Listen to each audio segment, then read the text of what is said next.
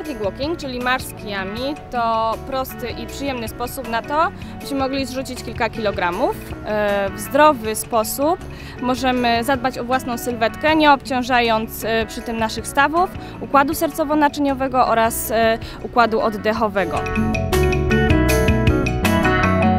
Najważniejszym elementem właściwej techniki chodu z kijami jest to, żeby kij nam nie przeszkadzał podczas marszu.